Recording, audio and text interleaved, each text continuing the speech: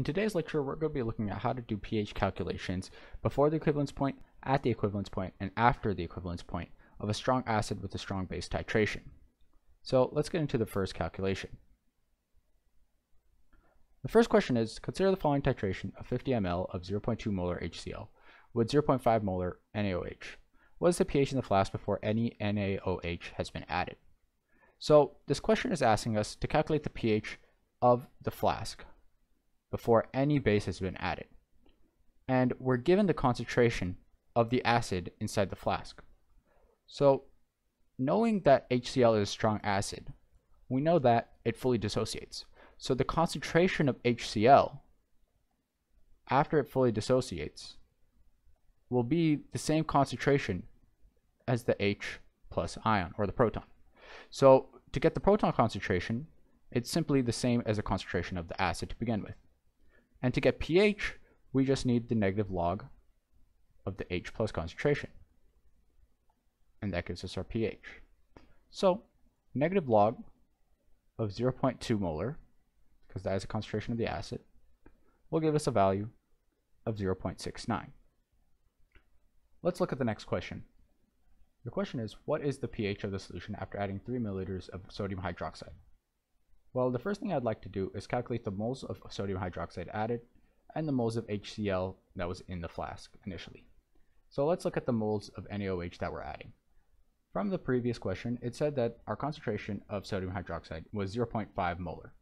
So 0.5 molar is the same thing as a mole over a liter because molar stands for the total moles divided by the liter and we have a volume of 0.003 liters. Doing this calculation, we see that liters cancel out because liters is in the denominator over here and the numerator over here, they will cancel out. And we simply are remained, remaining with the moles of NaOH. So we have 0.0015 moles NaOH. That's how many moles of NaOH are being added to the flask. Now let's look at how many moles of HCl was in the flask to begin with. So the concentration of HCl was 0.200 molar, which we will state as mole over liters. And our flask had initially an amount of 0.050 liters, or 50 milliliters. Again, liters will cancel out, and we remained with a value of 0.01 moles HCl. Now that we know the amount of moles we have of HCl and NaOH, we can move on to our Rice table. A Rice table stands for a reaction, the initial amount, the change of the amounts, and the equilibrium final amounts. So our reaction is HCl plus NaOH, and it's going to create a salt, which is NaCl, and water. We can see that this equation is balanced as well.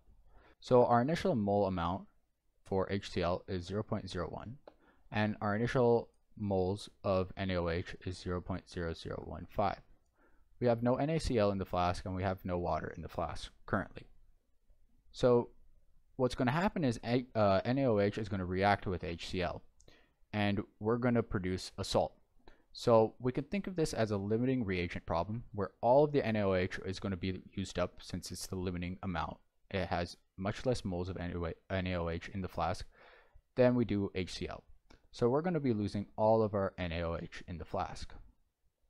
And we're going to also subtract that value from the value of HCl because the moles of HCl is also going to be used to create the NH NaCl. So we have to subtract 0.0015 moles from both NaOH and HCl because they're reacting with each other and we would have to add that same amount on the other side because this is what we're creating. And our E, which is equilibrium, is the final amounts of HCl and NaOH. And we're going to see that we have 0.0085 moles of HCl remaining in the flask. We would have 0 moles of NaOH in the flask. And we would also have 0.0015 moles of NaCl and 0.0015 moles of H2O that was created from this reaction going on here. Now, the important thing to, to realize is we have to figure out the pH of the flask. Right now we have the moles of the acid in the flask. So we have to get the moles of the acid in the flask and change it to a concentration value to figure out what is the concentration of the proton. Likewise, we don't have to consider NaCl or H2O in the presence of HCl because the pH of a strong or the contribution of protons from the strong acid is so much greater than the contribution of protons from water and the salt does not contribute to the pH so we can also ignore the salt. So let's move on to the next step. The next step is to figure out the concentration of HCl. And like the first problem we had went over, the concentration of first of HCl would be equal to the concentration of H plus proton. And we would then have to figure out the negative log of that H plus concentration to get the pH.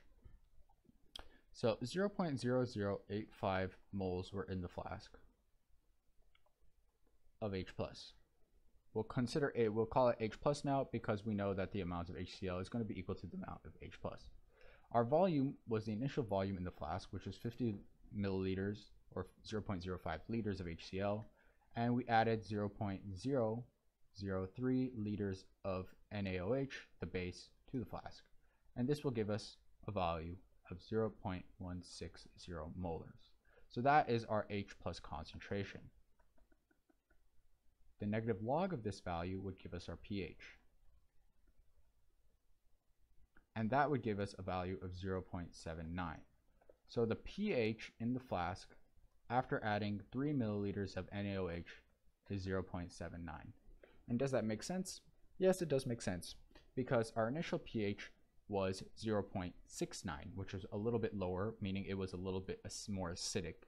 And now that we added a little bit of base, the base reacted with the acid and it caused the pH to increase slightly because we removed a little bit of the protons from the solution. The next question is, what is the equivalence point volume? And what is the pH at this volume?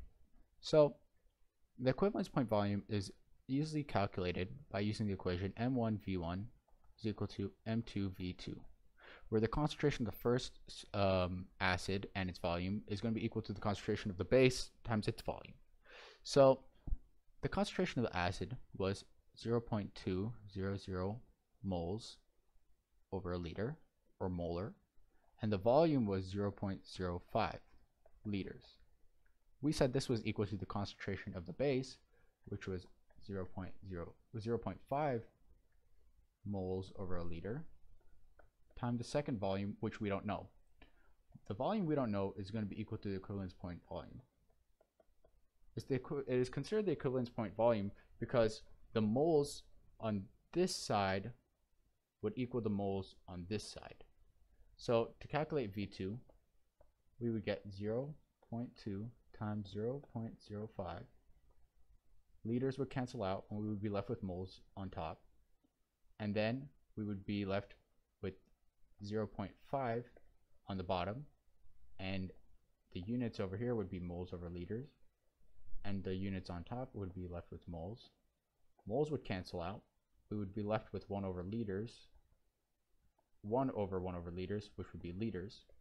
And we get a value of 0.2 times 0.05 divided by 0.5, and that would give us a value of 0.02 liters, which is 20 ml.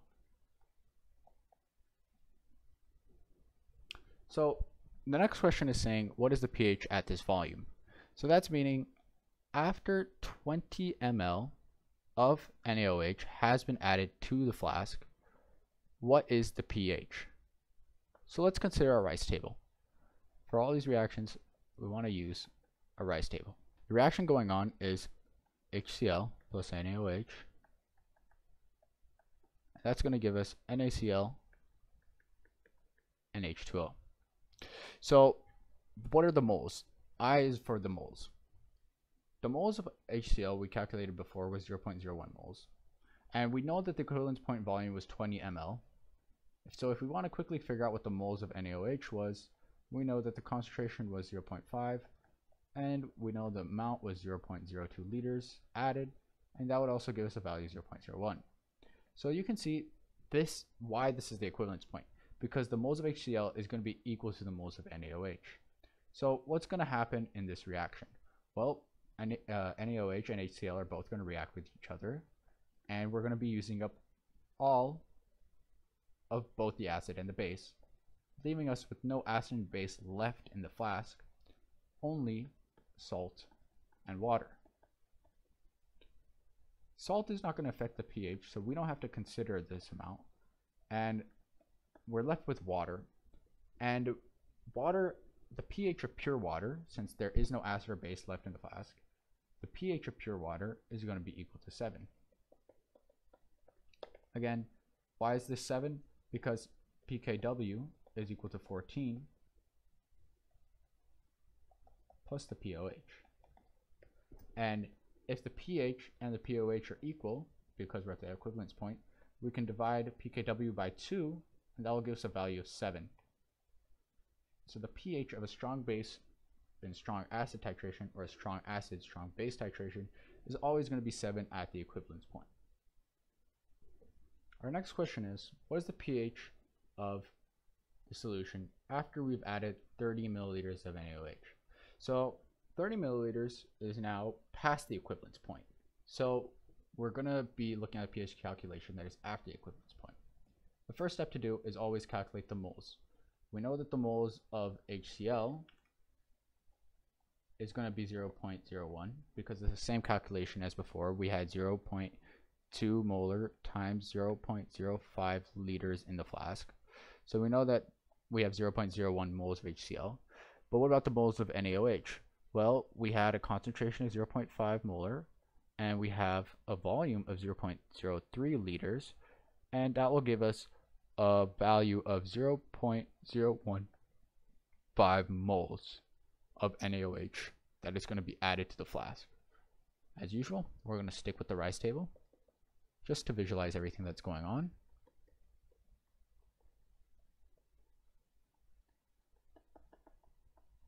And our initial amounts would be 0.01 moles of HCl, 0.015 moles of NaOH. We have nothing reacted yet. Change will be what happens when we react. Well, in this situation, we see that now we have less amount of HCl. So all the HCl is going to be used up in the reaction, and that same amount is going to be reacted with NaOH. And we're going to be left with no acid left in the flask, but we will have a little bit, 0.005 moles of NaOH left in the flask. Well, on the other hand, we just have to look at what is being added. But does the value of NaCl or H2O matter in this case? Well, since NaOH is a strong base, in the presence of a strong base, water is not really going to affect the pH, and a salt does not affect the pH in general, so we don't have to look at those. All we have to look at is the moles of NaOH we have in the flask. So the next step is to calculate the concentration of the hydroxide ion, since this is NaOH, and get the pOH and convert that to the pH. All right, so let's look at how we do that. So we have 0.005 moles of NaOH. But we'll consider that the same thing as we having 0.005 moles of hydroxide. The hydroxide ion.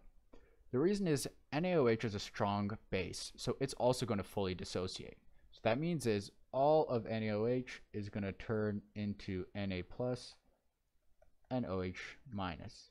So if we have 0.005 moles of NaOH, we're going to have 0.005 moles of Na plus and 0.005 moles of OH minus. So let's consider just looking at the OH minus, as this is going to be the one that affects the pH. So 0.005 moles of OH minus divided by the volume in the flask. We started with 0.05 liters of HCl in the flask, and we're going to be adding 30 milliliters of NaOH, and that's going to be a value of 0.03 liters, and that will give us a concentration of 0.0625 molar. That would be our OH concentration. To get the value of the pH, we first have to calculate the pOH.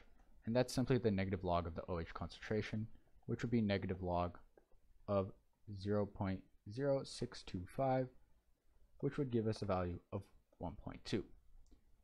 pH is going to be equal to 14 minus pOH, and that would be 14 minus 1.2, which gives us a value of 12.8. So the pH, after adding 30 milliliters of NaOH into the flask, is going to be 12.8. And does this make sense? Yes, it makes sense because all we have in our flask now is sodium hydroxide. All the HCl was used up and converted into the salt NaCl, and so we only have hydroxide left in the flask. So since hydroxide is going to lower or it's going to increase the pH, we're going to have a very basic solution. Hence, we have a pH of 12.8. So let's recap what we learned today. So this is a strong acid, strong base titration curve. And we can see that at the beginning of a strong acid, strong base titration curve, we're going to have a very low pH. It's going to be very acidic because all we have is acid in the flask.